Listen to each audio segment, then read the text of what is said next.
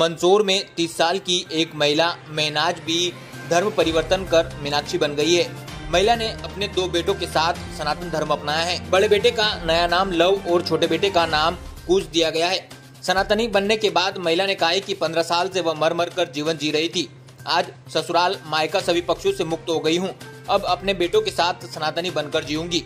मंदसौर ज़िले के दमनार की रहने वाली महिला फेनाज बी ने अपने दो बेटे फरहान और फैजान के साथ सनातन धर्म अपनाया है।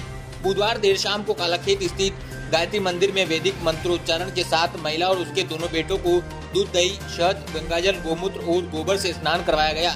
करीब डेढ़ घंटे चले मंत्रोच्चारण के बाद सभी का नामकरण किया गया है। सनातन धर्म में वापसी करने वाली मेनाज बी को नया नाम मीनाक्षी मिला है, जबकि बड़ा बेटे को फेरान खान, को लव और फैजान खान को नया नाम कुश मिला है। दोनों ने माँ के साथ विधि विधान से पूजा अर्चना की गई है और आरती कर सनातन धर्म अपनाया है। अब तक 45 लोगों की सनातनी बनाने वाले चैतन्य सनातनी को देखरेख में तीनों की घर वापसी हुई है। क्या नाम था पहले आप? अब क्या नाम होगा? पहला मेहनाज था मीनाक्षी कहाँ रहते हैं आप? मैं क्यों किया आपने धर्म परिवर्तन? क्या ऐसी ज़रूरत पड़ गई आपको या कैसी ऐसी स्थिति बनी कि आपको धर्म परिवर्तन करना पड़ा? इसलिए मैंने धर्म अपना लिया। आपके दोनों बच्चे भी साथ में हैं। जी। उनसे बात की आपने सबसे बात की कैसे हुआ? है हाँ मैंने बच्चों से बात करी थी ये अपनाया मैंने मेरे को हमारे को उसमें उस धर्म में बहुत मारपीट होती है दूसरा वो मारते हैं वहाँ वाले ने उसमें अब औरत की कोई वो नहीं रखना इज़्ज़त नहीं होती वहाँ पर। औरत को बहुत गलत तरीके से बोलते हैं बहुत गलत तरीके से उन अब औरत का इस्तेमाल करते हैं वो लोग। तो आपकी जो पति हैं जी। वो कहाँ है? क्या हुआ था?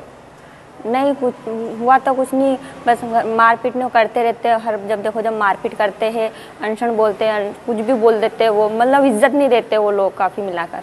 परिवार वालों में जो किसी से कोई मतलब नहीं ना मैं मेरे माँ बाप को जानती हूँ ना मैं मेरे मैं किसी को नहीं जानती हूँ अब मैं।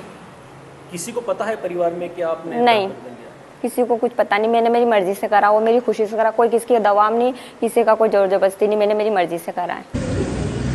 देखिए हमारा संगठन के कुछ मित्र हैं उन्होंने उन लोगों ने मुझसे संपर्क किया था कि ये जो महिला है, इनको इनके ससुराल में, इनके पति के द्वारा बहुत प्रताड़ित किया जा रहा है, इनके साथ मारपीट की जाती है और वहाँ पे इनको मान सम्मान नहीं मिल रहा था।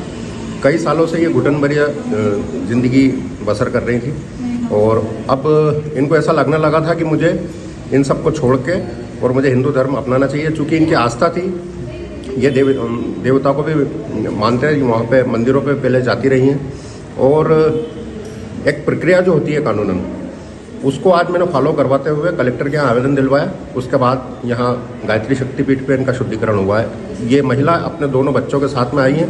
पहले इनका नाम मेहनाज था अब इनका नाम मीनाक्षी हो गया है और दोनों इनके जो बच्चे फरहान और फैजान हैं उन दोनों का नाम अब लवकुश हो चुका है। काफ़ी धर्म परिवर्तन हो चुके कितने लोगों को आप अभी तक परिवर्तन देखिए अब इनके पहले तक चौवालीस लोगों को मैं घर वापसी करवा चुका हूँ। और जिसमें से उनचालीस महिलाएँ हैं।